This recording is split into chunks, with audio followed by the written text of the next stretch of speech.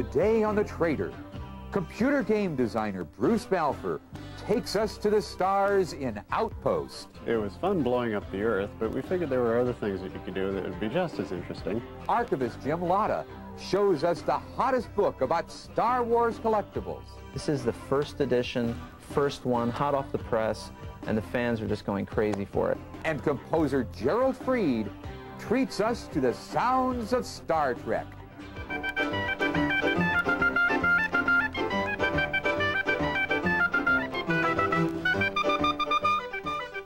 All this and more on today's episode of the Sci-Fi Trader.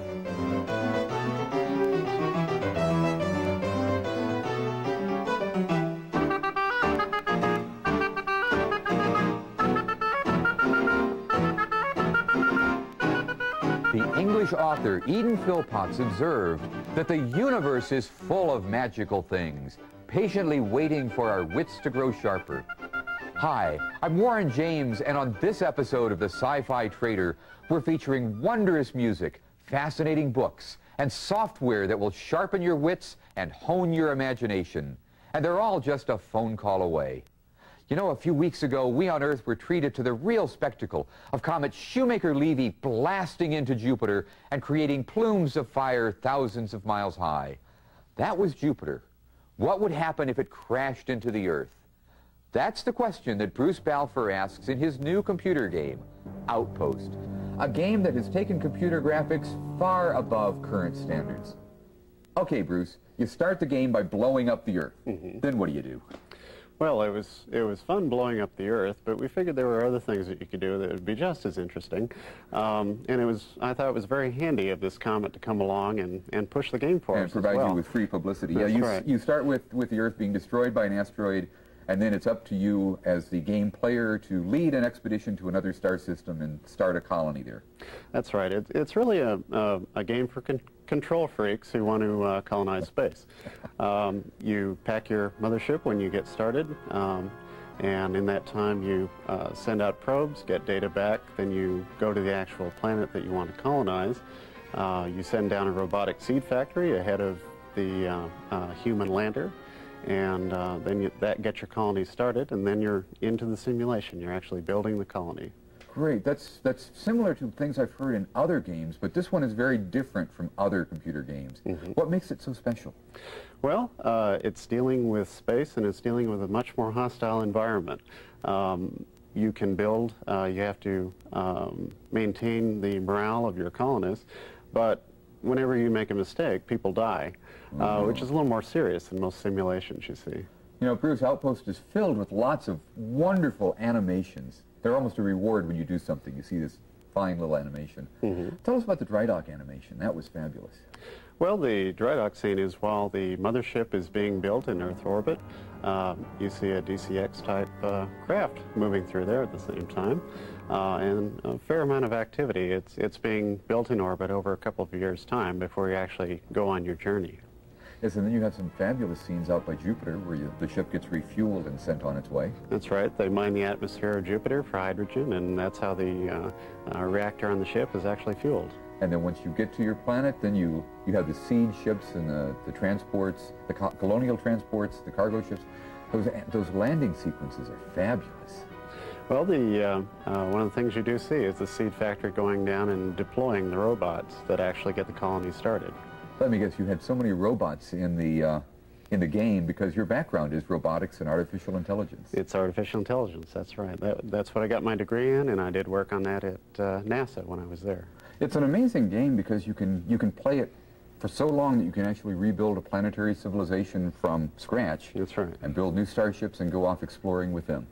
Well, it being a dynamic simulation, you'll never play the same game twice exactly. Um, but that is an endpoint you can work toward, is building a new starship, building up your colony to the point where you can build a new space program once again. Thanks, Bruce. Outpost. It's more than a game. The legacy of Earth depends on your survival. Darla, better round up some viewers and get them into the Outpost.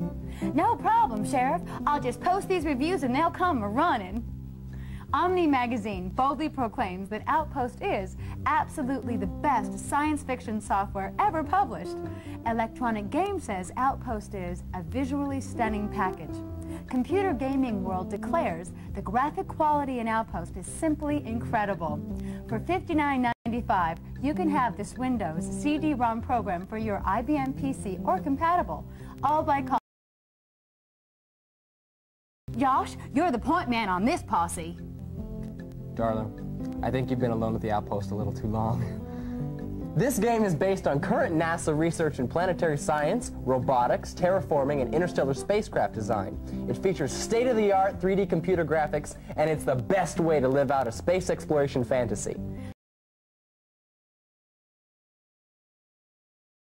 And handling, Outpost can be on your motherboard in no time. Remember, with Outpost, you're in charge, and the fate of many lives rests in your hands. And that's a scary proposition when Josh is playing the game. Ooh, she throws down the gauntlet again. Ouch. See what happens when you get involved with Outpost? I've been programming computers for 20 years, and when I heard what Bruce and his team were trying to do with Outpost, I knew they had taken on a monumental task. They succeeded in spades. I really love this game, and I know you will too. Now coming up next, science fiction magic from Star Wars, and a very special musical treat.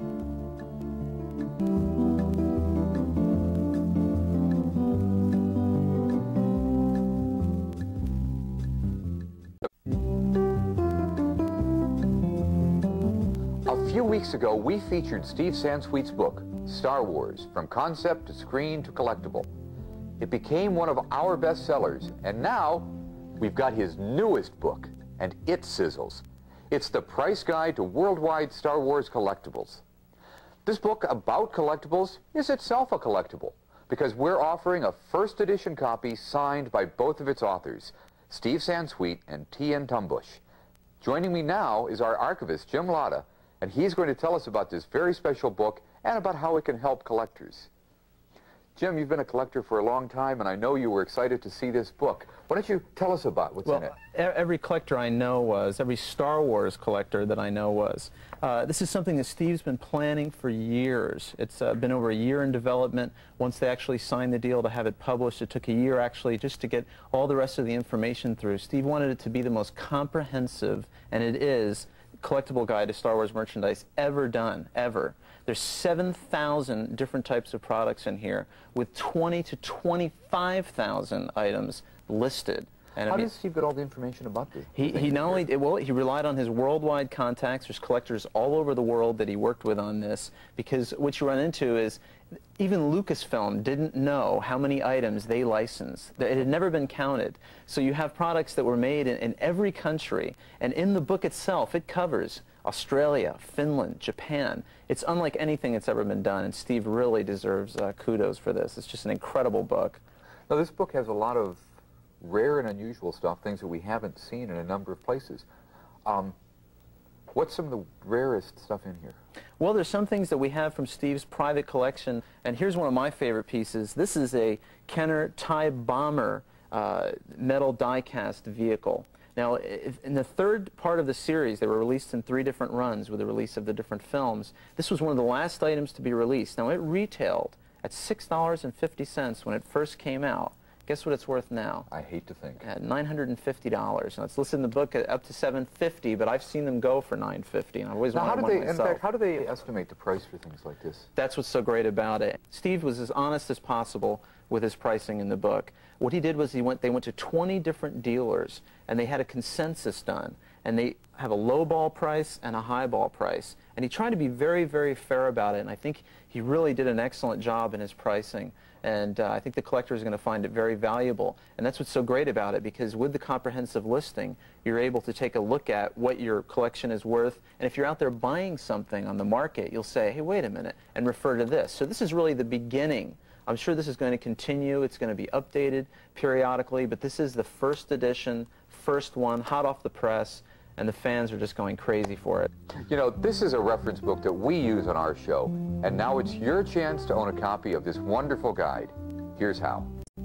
Today, collecting Star Wars memorabilia has become one of the hottest hobbies around. And now for just $24.95, a signed copy of the definitive book about Star Wars collectibles can be yours. Just call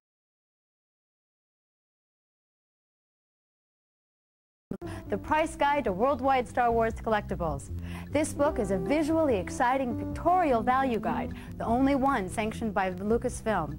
This price guide was compiled after a thorough search through the famous Lucas library, Toy Bay. I'd have paid them for that job. But the search is over and now you can join in on the fun for $24.95. This fabulous reference guide has over 7,000 collectibles pictured, covering over 20,000 items, and it includes current value estimates and a list of all licensees from 1977 through 1993. Collectibles from not only this country, but from all over the world. The manufacturer's list in the back of this book is the most complete and extensive ever compiled. And best of all, authors T.N. Tumbusch and Steve Sansweet will be signing every copy ordered. So call plus shipping and handling, you can have your own signed copy of Price Guide to Worldwide Star Wars Collectibles. You know, this week we got a terrific letter from one of our fans, Roy Plummer from Maryland. He dropped us a line so that he could share his Lost in Space collection with us. Well, now we're going to share it with you. He's been collecting the show's memorabilia for the past 15 years, and included in his collection is this helmet, and the original robot toy, and a Greek version of the Lost in Space board game that he believes is the only one still in existence. Roy, we're going to send you this Sci-Fi Channel shirt for sharing your collection with us. And if any of you would like the great Sci-Fi Channel merchandise we feature on the show, just call us. Coming up next, we have a very special musical treat, the legendary composer Gerald Fried, who created some of the most memorable Star Trek music ever. He'll be performing it right here on The Trader.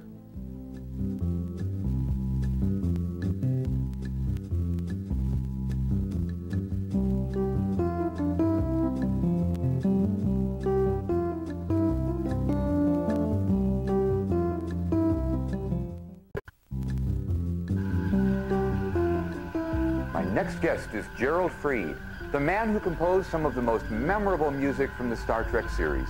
Music for such classic episodes as Amok Time, Shore Leave, and The Paradise Syndrome.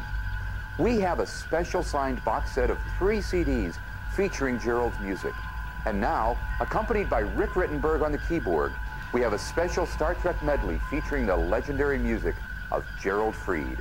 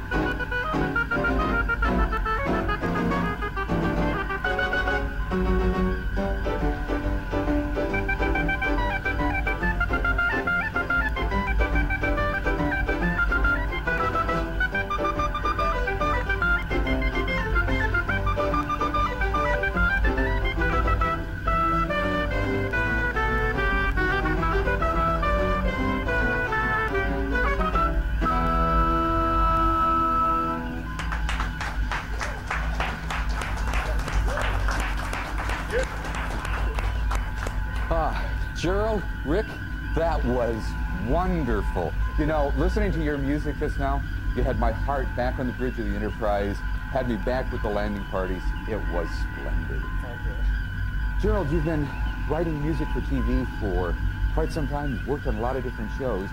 What was special about working on Star Trek? I guess it was a sense of mission. You know, it just wasn't an ordinary TV series. Uh, they were making comments. It was supposed to be about outer space, you think, but it was really about us people down here. Like, for example, Leave. You know, what really goes on in our heads? What are our secret fantasies? Us, the Star Trek series give us a chance to, you know, explore things like that. We had to explore our fantasies and learn more about ourselves. Learn more about us. Yep. That was splendid. It was wonderful having you here. And here's Josh to tell you how you can get your very own boxed set of three CDs with the wonderful music from Gerald Fried. Fans of Star Trek know that its music is beautiful. We've got a special box set signed by composer Gerald Fried of three Star Trek CDs that will let you experience this music to its fullest. These CDs can be yours for just $39.95 by calling from the original masters to bring out the best sound available. This signed slipcase set has music from such classic Star Trek episodes as Amok Time, The Doomsday Machine, and Shore Leave. Included in this Sci-Fi Trader exclusive package is the classic Star Trek main title theme and music from the pilot episode, Where No Man Has Gone Before, both by Alexander Courage. You get all of this wonderful music and these great liner notes, including these exciting pictures and vital episode information. For just $39.95 plus shipping and handling, you get this box set of three CDs signed by the composer Gerald Fried. Don't go away. We'll be right back.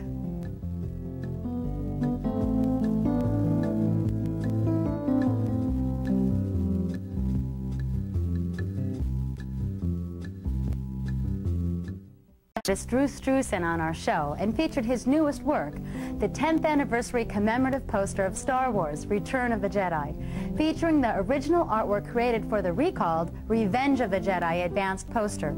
This poster is a limited gold foil edition, and the coup de grace was not only getting Drew's signature, but that of the Dark Lord of the Sith himself, David Darth Vader Prowse, a sci-fi trader exclusive. Well, you know the old expression, the phone rang off the hook? Well, our phones not only rang off the hook, they caused a busy signal from here to Tatooine. So many of you wanted this fabulous poster that had overloaded our phone system. Kudos to our viewers who alerted us to the situation. And now we're giving all those who tried to reach us a second and final chance to own one of these exciting signed gold foil prints. They're $79.95. There are very few of these limited editions left, and you can only get it here by If you'd like any of the products that we had on the show today, they're only a phone call away. And remember, they all come with a 30-day money-back guarantee. Here's a review of what we featured on today's show. Outpost, the CD-ROM for the PC featuring blow-mind state-of-the-art graphics. For just $59.95, the space exploration fantasy game can be yours. Remember, the legacy of Earth depends on your survival. We also have this comprehensive guide to all of the fabulous Star Wars memorabilia created to date.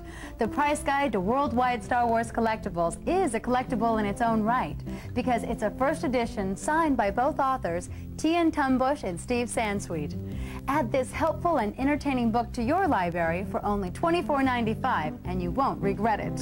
And don't forget our rare treat for your ears, the classic Star Trek CDs from the original masters. This slipcase set is signed by composer Gerald Fried and features such classic episodes as The Naked Time and Shore Leave. Enjoy these great CDs for the very reasonable price of $39.95. For your convenience, we accept all major credit cards, personal checks, and money orders. Now, Warren will cattle prod your consciousness with one last kernel of karmic concern.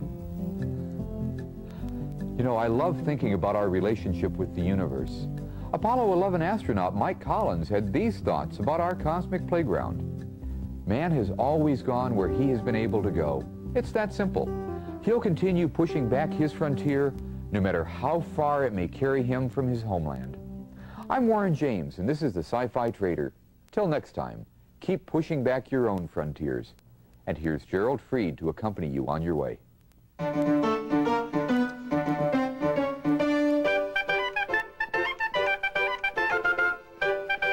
Life After Apollo, spacewalker Ed White, artist Paul Hudson, and much more on the next Inside Space tonight at 10 p.m. Eastern. Now stay tuned for amazing stories next on the Sci Fi Channel.